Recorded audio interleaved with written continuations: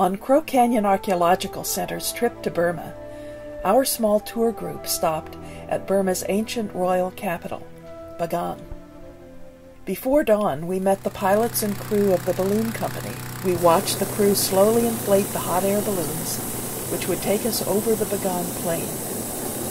When the balloons rose above their baskets, the pilots turned up the burners for liftoff. We climbed into the baskets and rose up and up into the mist.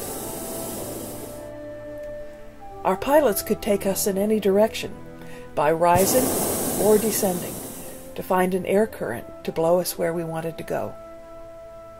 Our scholars for the trip told us that nearly a thousand years ago at Bagan, kings of Burma built more than 4,400 temples of brick and other lasting materials. More than 2,000 temples remain. Other buildings, Palaces, monasteries, shops, and homes also filled the plain of Bagan, but these were made of wood. All the wooden structures in this great city have decayed and disappeared. Only the temples remain.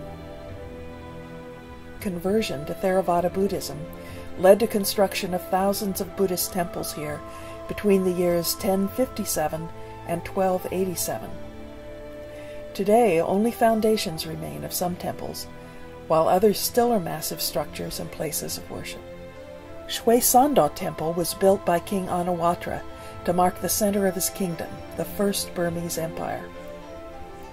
The most massive temple at Bagan is Dhammayangyi, built by a king who seized the throne after killing his father. He's said to have executed his masons if a needle could be pushed between the bricks of the structure. Marco Polo came to Bagan and wrote of seeing great towers of gold and silver.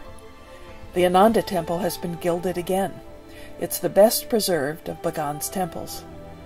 Inside, four enormous standing Buddhas greet tourists and the Buddhist faithful.